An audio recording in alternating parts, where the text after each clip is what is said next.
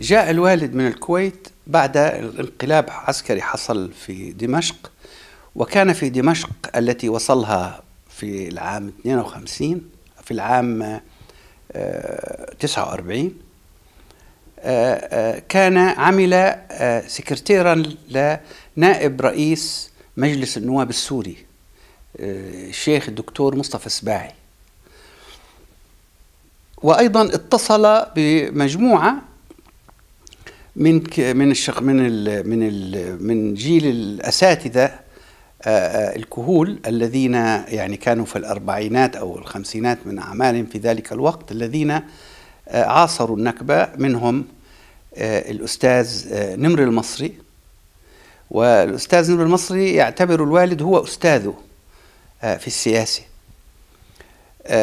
وأيضا فكريا. والشيخ داود حمدان الشيخ تقي الدين نبهاني وآخرون. وكان أيضا عندما في حيفا في آخر في السنوات الأخيرة من إقامته في حيفا بدءا من المراهقة وحتى مغادرتها اتصل ب كان أكثر الناشطين في العمل السياسي مما يعني من الأحزاب اليسارية. وكان مع ايميل حبيبي في في خلية واحدة. وهذا أنا عرفته عندما جاء إيميل حبيبي إلى الرباط وزار والدي. هذا في مطلع التسعينات. وتحدث مليا في هذا. فكان له خبرة أو يعني كان له خلفية ولو إنها كانت غضة بألوان مختلفة من العمل السياسي. وأتصور هو نشأ في بيئة دينية عائلة متدينة احتك بما يسمى اليسار الفلسطيني أو اليسار بشكل عام. في فترة كانت حيفا هي الثقل السكاني والثقل مهم وأساسي في واقتصادي في فلسطين حيث القسام. والقسام كان من من أصدقاء جدي محمد سعيد اللي هو أبو خالد وكان بعض اللقاءات تعقد في الطابق العلوي من المنزل وكانت جدتي أشارت لي في هذه الغرفة كان يتم اللقاء من صورة من صور المنزل. فهذه من جهة ثم التقاؤه بالسباعي والتقاؤه بنمر المصري وبالنبهاني وبشخصيات مهمة كالزرقاء ومحمد المبارك. هذه كلها وسعت الآفاق وأيضا أعطته يعني وفرت له الحقيقة صلات واسعة. ومعرفته مثلا بالشيخ فهد صباح اللي هو كان ذلك الوقت أخوه للأمير كانت من دمشق. وبالشيخ علي عبد الوهاب المطوع الذي عمل والده مع والدي معه عندما عاد إلى الكويت في البداية كانت من دمشق. ف فعندما جاء إلى الكويت فكان له يعني ذخيرة من من الصلات. لكن الوالد لم يستمر في العمل مع الشيخ علي عبد الوهاب حيث كان يدير مصالح مصالح اقتصادية له لأنه من كبار التجار في الكويت. انتقل للعمل في مجلس الإنشاء كمساعد لأمين سر مجلس الإنشاء الذي أصبح اسمه المجلس البلدي فيما بعد. وتستطيع أن تقول إنه هو كان أم الوزارات حيث لا وزارة غيره في الكويت قبل الاستقلال. وبعد ذلك أصبح هو أمين سر المجلس البلدي. الكاتب العام مثلا لا لأم الوزارات بس يعني يعني إذا لأنه هناك ما كانش طبعا لم يكن هناك وزارة خارجية أو وزارة دفاع لكن في مصالح الصحة والمصالح البلدية وإلى آخره فكانت كلها متركزة في مجلس الإنشاء اللي أصبح اسمه المجلس البلدي. وكانت أحيانا يكون في انتخابات للمجلس البلدي. لأن الكويت عرفت حياة سياسية قبل الاستقلال. وكان هناك حركة سياسية مناوئة للبريطانيين. والحركة السياسية كانت حاضرة ومتصلة بامتداداتها العربية في العراق وفي مصر أيضا.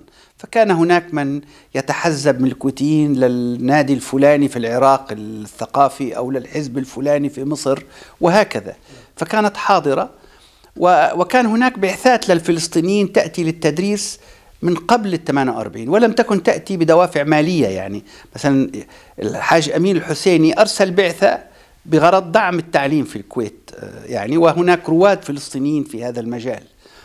آه، جاءوا قبلا ومنهم من جاء قبل النكبة لغرض التعليم والتدريس. آه، الوالد في بداياته كان عمله سياسي في مجال آخر ضمن أحد الأحزاب.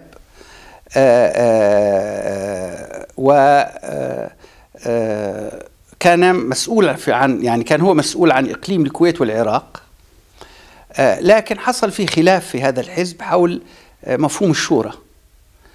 آه، واستقالت القيادة يعني رئيس الحزب كان يرى أنه يعني كالنبي بين أصحابه. وهناك رسائل متبادلة في هذا المجال بينه وبين الوالد محفوظة. وأنا أيضا أطروحة الماجستير لدي في الجامعة الأمريكية في القاهرة كانت حول هذا الأمر. عن مفهوم قواعد النظام العام آه، لديهم. وإن آه، شاء الله يعني أنا تأخرت في نشرها هي مكتوبة من حوالي 30 سنة لكني أنا يعني كسول في النشر الحقيقة. لكن وهي كتبت باللغة الإنجليزية لكن أنا أعددت نص بالعربية يعني. وهو بحاجة للمراجعة إن شاء الله ينشر شايف. فهو عندما جاء كان له ذخيرة. المهم نتيجة الخلاف حول إلزامية الشورى من عدمها آه، استقالت قيادة الحزب آه، وكان الوالد من هذه القيادة وكانت فترة معاناة له وهذا الكلام كان في الخمسة وخمسين ستة وخمسين. بعدها تم لقاؤه بين يعني شخصيات فلسطينية أخرى هناك من اتصل به وكان من كما يعني ما هو معروف كان من مؤسسين حركة فتح آه، التي آه، آه، أنا خبرني عادل عبد الكريم رحمه الله أنه التقى في أبو عمار في الكويت وأبو عمار أحضر أبو جهاد وهو أحضر عبد الله الدنان وبهم بدأت الأمور. طبعا كان هناك في مناطق أخرى أيضا بدايات مشابهة وتم الاتصال في الوالد وبآخرين منهم فاروق القدومي وآخرين في الكويت. وكان هناك آه في قطر مثلا محمد يوسف النجار محمود عباس رفيق النتشي وفي أخطار أخرى. في السعودية كان عبد الفتاح عيسى الحمود وهكذا. آه كمال عدوان كان في قطر. هؤلاء التقوا وكونوا آه، حركة فتح. آه، آه، الوالد من خلال علاقته الخاصة بالشيخ صباح وأنا كنت أحيانا عندما يمر الوالد بزيارته أكون مع الوالد يعني أذكر أكثر من زيارة يعني له. زيارات في المنزل يعني. آه، آه، فكان الكويت احتضنت هذه الفكرة بصمت. وقدمت لها دعما ماديا أتذكر مهم في ذلك الوقت حوالي ثلاثة ألاف دينار أو شيء من القبيل يعني أنت تتحدث عن حوالي عشرة ألاف دولار. هذا الكلام في يعني أوائل الستينات. وأيضا وفرت لها مكتب طبعا غير معلن عنه في الكويت. وهذا الوالد أشار إليه في الموسوعة الفلسطينية آه، عندما طلب منه أن يؤرخ لفكر وتأسيس حركة فتح. ومن يريد يستطيع أن يراجع الأمر. فكان الاحتضان للفكرة آه، آه، وحتى بين العائلات الكويتية لأنه كمان الكبيرة والمهمة لأنه الوالد موقعه في المجلس البلدي وهو الصلة بالناس الكويتيين بشكل خاص آه، جعل إقامة مثل هذه العلاقات ومراكمتها على الصعيد الشخصي مهمة لدرجة مثلا الوالد كانت تربط صلة قوية بعبد اللطيف ثنيان الغانم اللي هو انتخب رئيس المجلس التأسيسي الذي صاغ الدستور الكويتي الأول بعد الاستقلال مباشرة الذي حضر البرلمان. وهذا كان من من المتمردين آه، أصحاب المطالب السياسية واعتقل في في صغره يعني وهو لم يخ لم يبلغ العشرين يمكن كان عمره 17 سنة أو شيء من هذا النوع. والمهم في الستينات في في 61 62 عندما عد الدستور أيضا الوالد آه، كان يعني كان يطلب منه عبد اللطيف بحكم الصداقة بينهم و آه، الوالد بثقافته إلى آخره مع الفقيه الدستوري المصري الذي كلف آه، بالإشراف على إعداد دستور أنا لا أريد أن أذكر الاسم أخشى أني أكون أخطأ أخطئ فيه يعني لكن الاسم حاضر وهو معروف الاسم. فقيه مصري كبير. فمن آه، هنا كان الوالد حاضر. في الكويت طبعا بعد معركة الكرامة كان في حديث كنت أسمع أنه الوالد يريد أن يتفرغ للعمل الفلسطيني وكان يعد يعني يعدنا لهذا. آه، يعني آه، طلب آه، قام بأن الوالد يتعلم قيادة السيارة لأنه لن يكون موجود أحضر سائق للمنزل. صار يعني ينبه لنا في أشياء معينة. آه الوالد الوالد طبعا لم يقدر له أن يدخل جامعة هناك كثير من يتحدث أنه أرسلت أرسلته عائلته للدراسة في لندن. هذا كلام غير صحيح لا أساس له آه، لأنه الوالد آه، يعني كان يتيما وهو عمره 13 سنة وكان مضطر أن يعمل في التدريس وفي أشياء أخرى حتى يستطيع أنه هو يقيم آه، عائلته. وكان لهم طبعا بقية من الإرث لكن هذا لم يكن يدر عليهم مالا كافيا شايف؟ ولأسباب يعني لا مجال لذكرها الآن.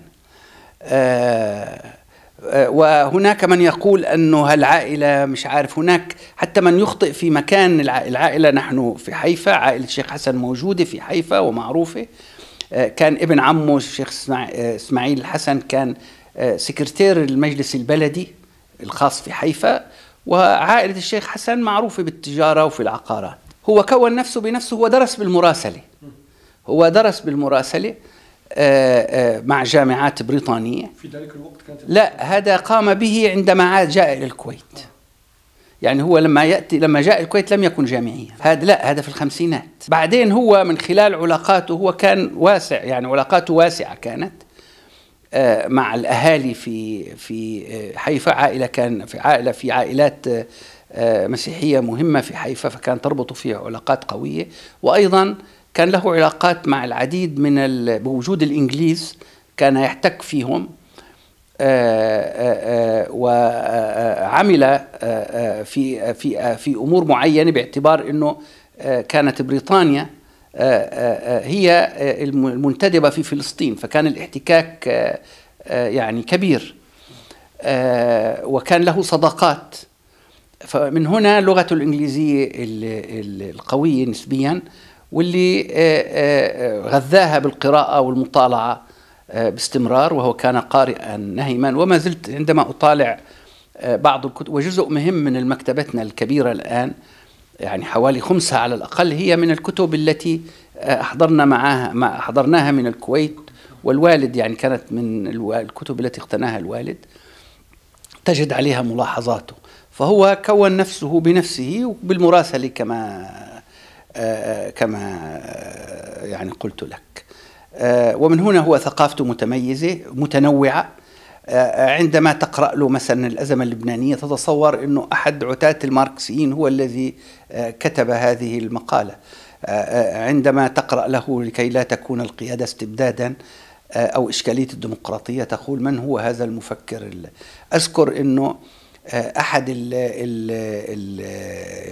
الباحثين المصريين المتميزين آه، كتب دراسة عن فكر الوالد سماها فلسفة العودة آه، ونشرت في مؤسسه دراسات فلسطينية. آه، نشرناها في كتيب في مركز مؤسسة خالد الحسن هنا. عندما أرسلتها أرسلتها لأحمد خليفة رحمه الله الذي كان يشرف على على تحرير مجلة آه، مؤسسة الدراسات الفلسطينية في في بيروت. قرأها قال لي يا أخي يا سعيد هذا الوالد يظهر أنه هو مفكر إسلامي. لكن نحن نعرف الوالد ونجلس معه. وأحمد خليفة يعني خلفيته يسارية. وحركة قوميين عرب. قال لي هذا ليس خالد الحسن الذي تعرفه. فقال لي هل يعني أنا أشك في مصداقية هذه الدراسة؟ قلت له هذه يعني كلها موثقة. قال لي هل لديك مانع في أن نطلع عليها عمك بلال؟ أنا كنت أريد أن أقترح عليه هذا لكن سعدت أنه هو الذي اقترح اقترحه. نعم نطرحها عمك بلال وهو من أقرب أصدقائه. ونرى ماذا يرى؟ قلت له لا بأس ففعلا اتصل في بلال وأطلعه على الدراسة فضحك بلال قال له هذا هو أبو السعيد الذي لا تعرفونه. آه، فهو رجل له يعني ونحن الآن بصدد آه، الانتهاء من إعداد أعماله الكاملة. آه، هو يعني رجل فكر له رؤيته الفلسفية. ورجل رؤية استراتيجية ومحلل سياسي ومناضل. تحليله السياسي يواكب الممارسة. وهذا نادر في حقبتنا الحالية. ولا تكاد يعني قد تكون هذه الأعمال شيء ملفت. وأيضا أيضا هو أديب. فدراسته متميزة. وأظن أنه نشرها سيكون إضافة مهمة للتراث النضالي الفلسطيني وبشكل خاص طبعا والعربي بوجه عام والإنساني أيضا لأنها أظن دراسة يعني تعطي صورة مهمة عن الفكر التحرري العربي بأبعاده الفلسفية وبنكهته الأدبية وبنظرته التحليلية. للواقع السياسي الإقليمي بأبعاده الدولية.